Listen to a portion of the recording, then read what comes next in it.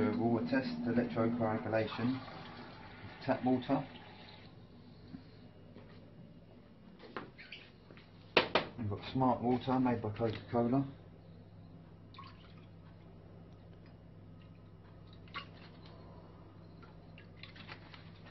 Evian.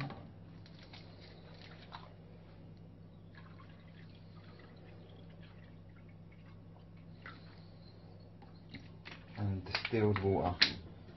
Straight from the distiller, distilled last night.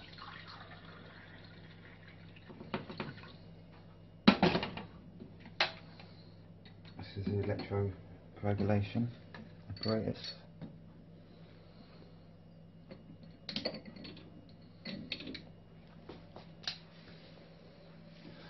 You see the bubbling start straight away.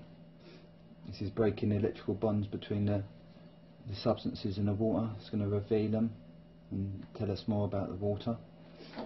We've done a pH test and a ppm test on all, all waters. So we've got pH of the tap water 7.4, the smart water 7.2, the Evian's 7.4 and the distilled water 7.1 and the ppm parts per million tap water 276 smart water 225 Evian 265 and the distilled water 002 it's usually 000 but it picks up carbon dioxide as soon as it comes into the jug. It absorbs it. So as you can see the smart water is getting really dark the tap water's also getting very murky. And as we can see all the sediments in the water that are being revealed this is what fills up our bodies. It gets in all, all in our tissue in between our joints causes um, arthritis later on in life and all different different problems and conditions and leads to leads to diseases.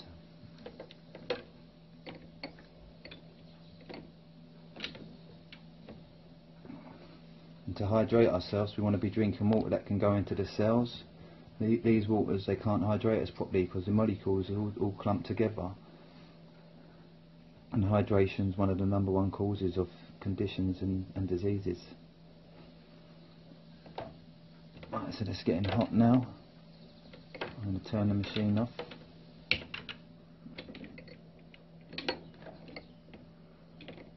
Let's let that one go on for a little bit longer. And as we can see, the colours have been revealed. We've got black for smart water, which is basically pure heavy metals, zinc, lead, lead copper, mag, uh, and cadmium. So it's just filled with heavy metals. The tap water is slightly blue and green, so we've got bacteria, viruses, carcinogens, organic phosphorus, fertilisers, detergents and pesticides and with the green as well as arsenic, mercury, lead, copper and sodium.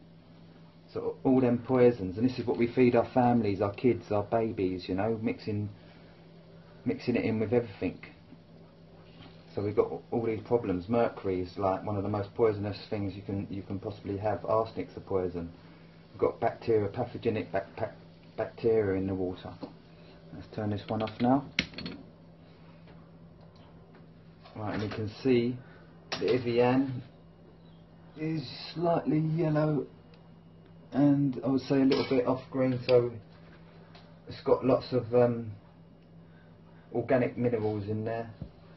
Other organics, possible fluoride, silicon compounds and some heavy metals, arsenic, mercury, lead and copper and sodium. And as you can see the distilled water having no parts per million in there is totally totally clear. And really this should prove a point to get on the distilled water. Hydrate yourself cleanse yourself and treat your body and your families well. Love and gratitude. Thanks for Matthew on the camera and I'm Darren Brock